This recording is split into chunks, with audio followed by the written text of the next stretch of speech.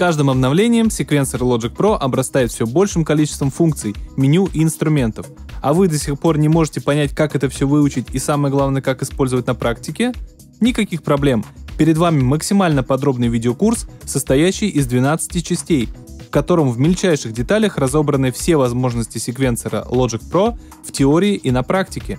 Каждая часть продвинутого курса Logic Pro — это отдельный мини-курс, посвященный тому или иному разделу или редактору внутри секвенсора, поэтому можно смотреть в любом удобном порядке.